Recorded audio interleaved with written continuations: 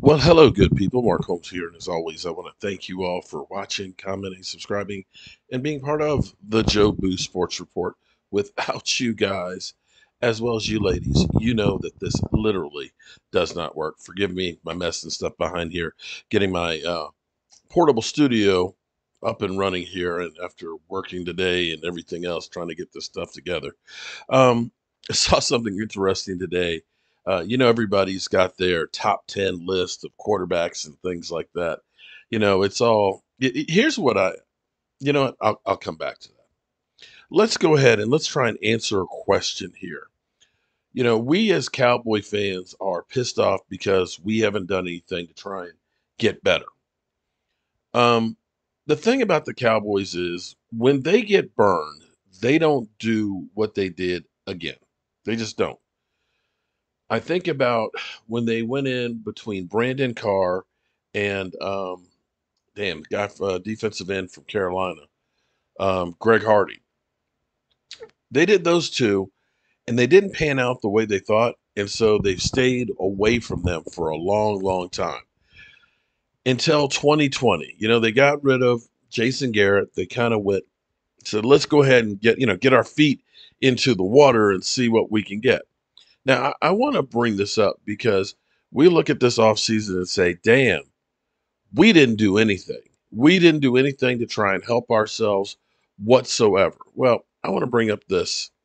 This is from ESPN from 2020.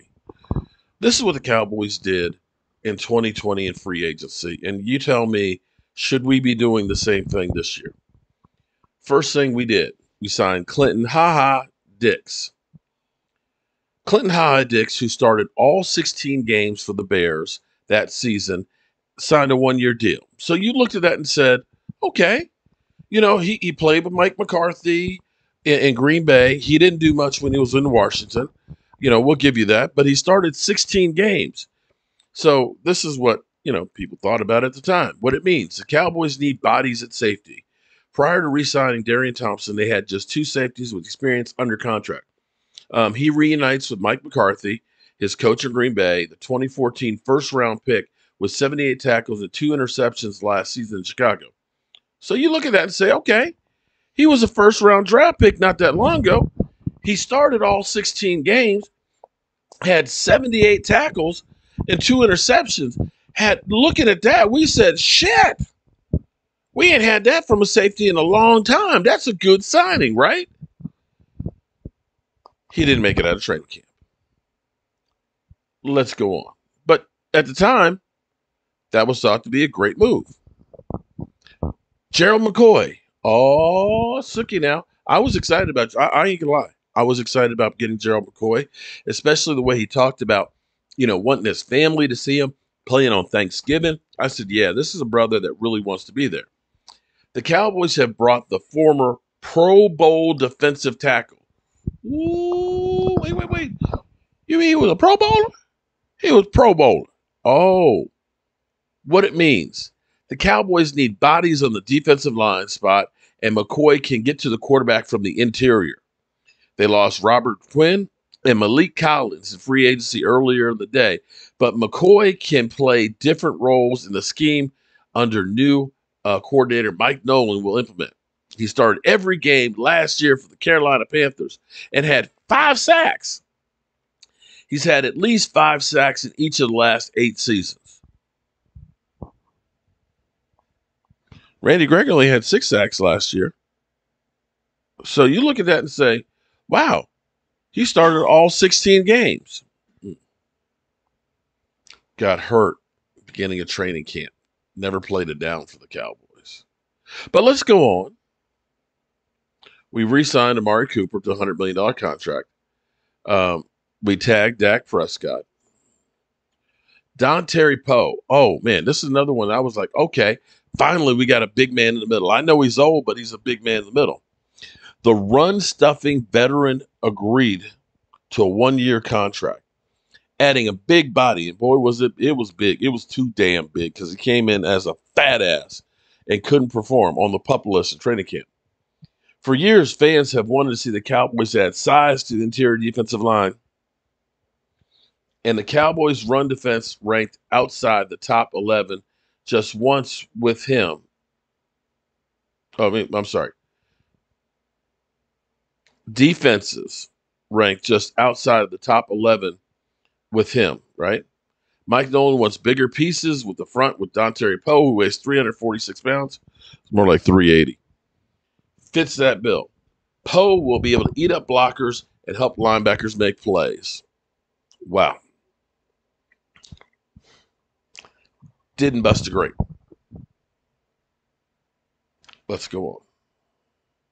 We re signed Sean Lee to his 11th season. We re signed Blake Jarwin. We re signed Darian Thompson. We signed LP. We re signed Anthony Brown. And you can say, you know, some people will always hate uh, Anthony Brown, but, you know, Anthony Brown has been, been a decent player for us. And we signed Maurice Canady. Check this out. He has played in 13 games last season between the Jets and the Ravens. Wait a minute, he played for the Ravens? He played in 13 games. Okay. All right. That's good. With an interception and five pass deflections. Okay. All right. That's pretty cool. That's that's good. And then we signed Kyle Forbath. And we brought back Joe Thomas. Um, Joe Thomas didn't really help much. Justin March, CJ Goodwin, Blake Bell, and we brought in Greg Zuerlein. Yeah. And Greg Zuerlein, Greg the leg. All right, so having revisionist history and looking back at what we did in 2020, we brought in name guys, older guys. None of them were healthy for most of the season. And also, I will put in there that we also went ahead and got Everson Griffen. Yeah. None of them really helped us. Although Everson Griffen probably had the best season. I think he did have three sacks before we let him go. So the hoopla of us signing a lot of players that are named players that have done stuff, what they really did, these guys, actually slowed the development of some of the guys we had on the roster. So maybe, just maybe, there is a method to the madness that is the Dallas Cowboys, and that maybe we are better off bringing back guys that know the system, that are younger and definitely hungry, because all these guys have been paid. And if it didn't work out, oh well, I got my signing bonus, I got my roster bonus. Who cares? I'm out. Because I believe almost all of those guys I just named are still out. I think Griffen is he still with with uh, Minnesota? I think he got cut. He had to come in and basically apologize to Kirk Cousins, but I don't think there was much after that. All right, so let's go through. Th- this one is is crazy to me. The cowherd with his top ten quarterbacks. Um, surprisingly, Carson Wentz isn't on it. But I want to listen to this and, and try and understand Derek Carr being on there. Okay. Uh, I'm, I'm not going to go much further than that on here. But let, let's look at this for a second. So you're saying Kyler Murray is better than Lamar Jackson? You're saying that Derek Carr is better than Lamar Jackson? You're saying that Derek Carr is better than Dak Prescott? Hmm. Justin Herbert, you know, in the end, they always talk about, well, Dak can't beat this and Dak can't beat that.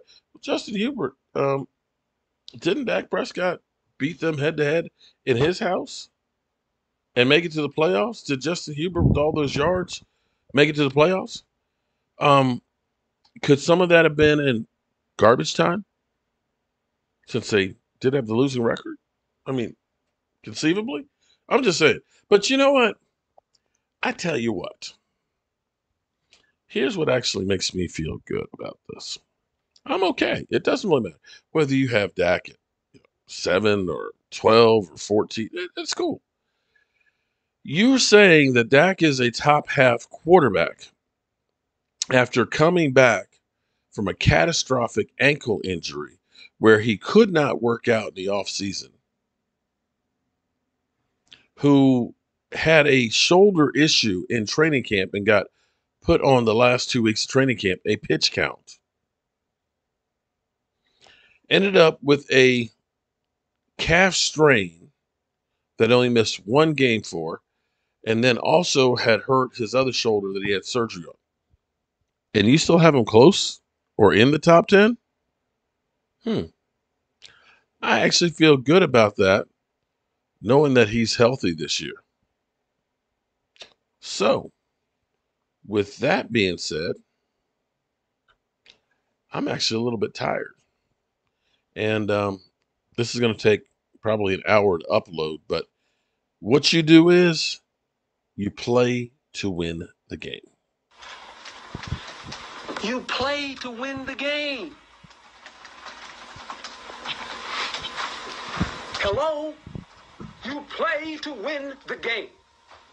You don't play to just play it. That's the great thing about sports. You play to win. And I don't care if you don't have any wins. You go play to win. When you start telling me it doesn't matter, then retire. Get out.